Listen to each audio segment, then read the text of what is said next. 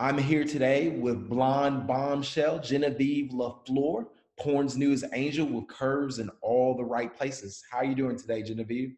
I'm doing great. How are you? I uh, think of the Drake line, uh, I like my girls BBW. Yeah, the type right. that suck you dry and then eat some lunch with you. So. That's right. so, um, what uh, made you want to start a career in uh, the adult industry? Uh, you know, I was a videographer and I got offered some opportunities to work on porn sets behind the camera. And I was editing and producing, directing, doing stuff like that.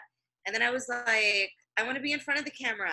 Like, this looks too much fun and I'm just bored back here. So uh, about a year ago, I just threw my hat in the ring and went for it. And then it's been super fun. It's been a wild ride.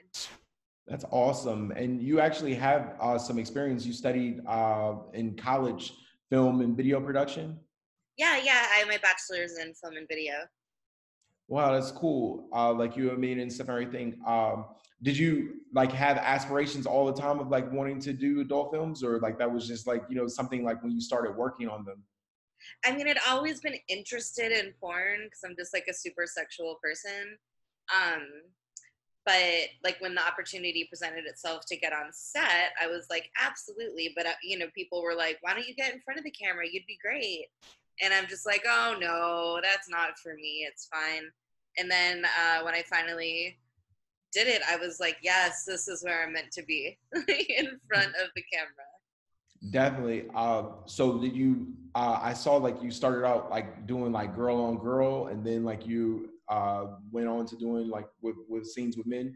Was that? Yeah, you know, I kind of I did one girl girl scene with a friend, and then I dived right in and I did my first scene with um, Christian XXX for Pure BBW, and that was about a year ago. Um, so yeah, I know that a lot of people they're like, I'll only do girl girl for the first couple years, but no, I was never strictly girl girl. It's just that it's just kind of how it worked out. But I did mm-hmm. one girl girl scene and then just dove in. Yeah, and you've got a lot of momentum. You've got uh, two industry nominations this year one for uh, Best New Starlet of the Year and Best Girl Girl Performer from the uh, 2020 BBW Awards. So, yes. is that pretty exciting for you? Yeah, it's super exciting. I'm stoked. I was at the awards last year and they were super fun. And so I've been motivating my man, my fan base, my man base, uh, to vote for me and voting actually ended today. So uh, I'll find out in January what happens. But even just being nominated is super awesome. Yeah, and uh, the awards this year are January 21st, 2020 at the Larry Flynt Hustler Club. That's right. And you're going to be on the red carpet, and you're also going to be uh, presenting an award as well. Yeah, of course. So, yeah, so uh, like, you know, um, that's amazing, uh, Genevieve. What's next for you in your career?